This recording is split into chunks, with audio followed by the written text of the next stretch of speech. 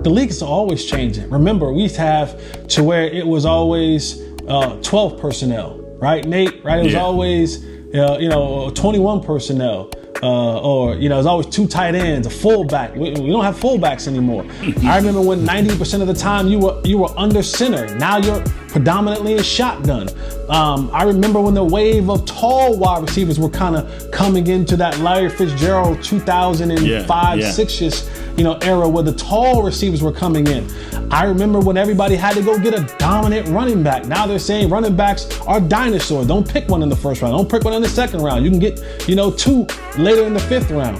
Uh, so it's just the league doing what it does. It changes. It changes. And I remember when you didn't go for it on third downs and you punted, and, and you know all these different things. The, the league is forever evolving and changing. And this is just, this is the new wave. The small slot receiver has emerged and is becoming uh, uh, a, a more valuable asset in the team's offense.